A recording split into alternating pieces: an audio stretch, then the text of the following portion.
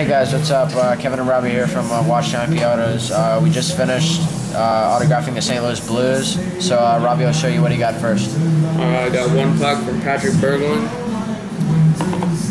uh, one from Jamie Langenbrunner, uh, one picture, 8.5 by 11 of Jaroslav Halak, uh, and then I got a puck from TJ Oshie and then a picture TJ Alright, and then I'll show you what I got. First I'll start off with the cards.